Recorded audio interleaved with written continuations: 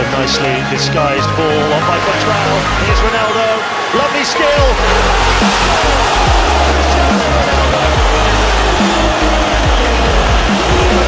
the highest quality from the Portugal captain.